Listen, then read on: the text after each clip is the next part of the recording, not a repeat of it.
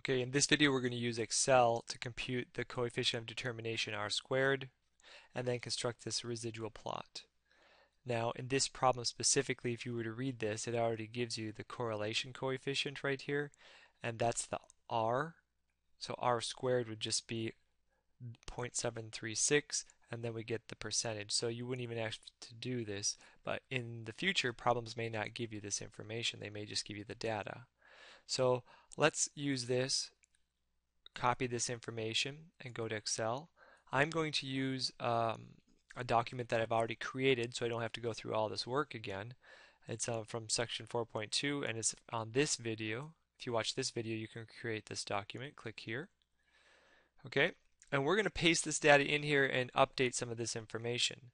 So I'm just going to paste it down here just to see how much how many cells are here. So there's one, two, three, four, five, six, seven, eight cells, and I only have five.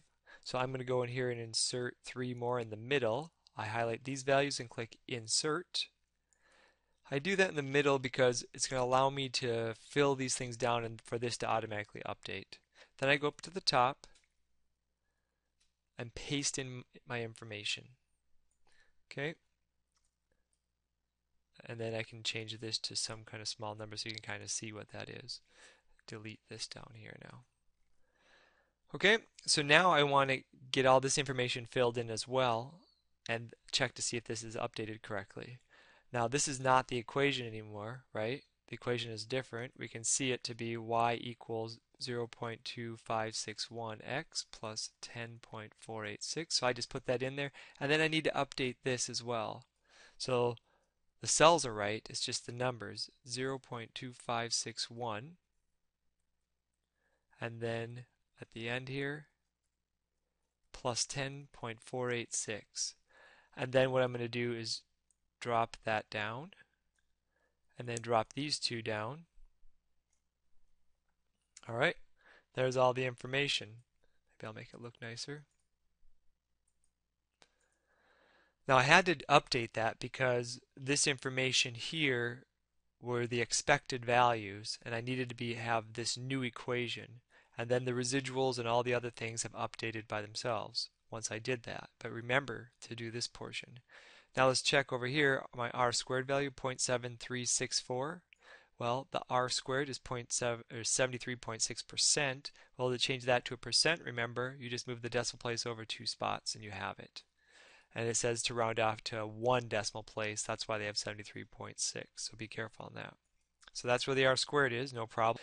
This information was needed for plotting the residual plot, which was the head circumference to the residuals. So these would be the new y values, and these y values would be the x values.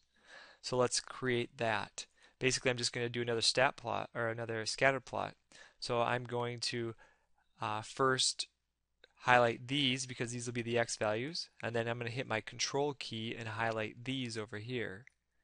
So that'll be my y values. So first and then second and insert scatter and then here they are which is called a residual plot.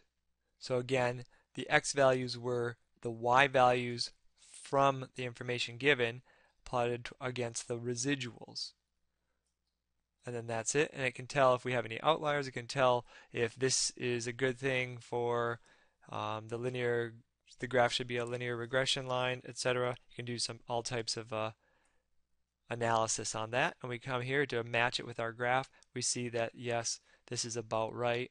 That one goes to 0.2, but very similar. Matches up nicely, and now we continue to answer the questions about them.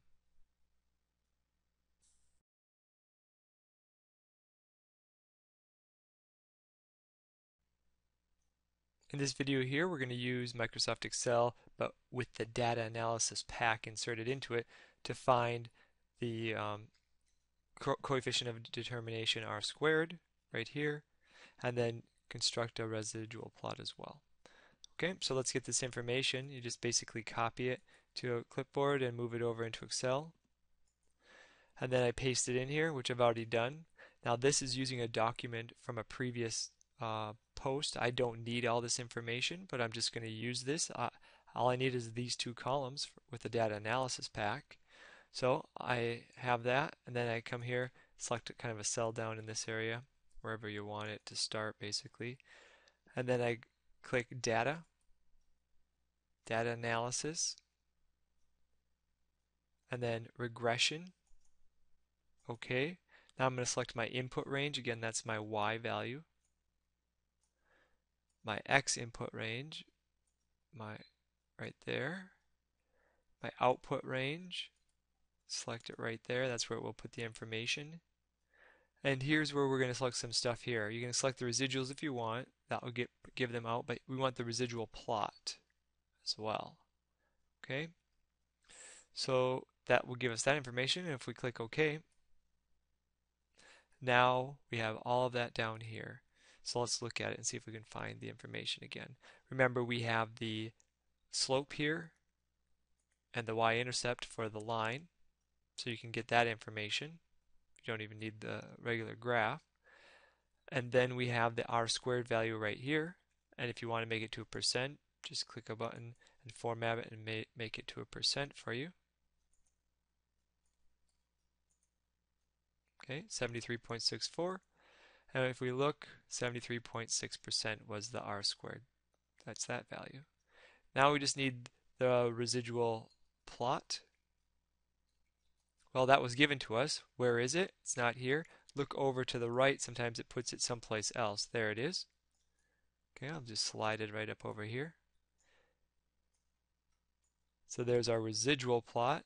And if we compare that to the answer here, that's it right here. Now it says x variable 1, so we probably would update that into so that would say height. Doesn't mean it's the x values from, from up here. It's not using these x values, it's using these values as the x input. So you have to keep that in mind.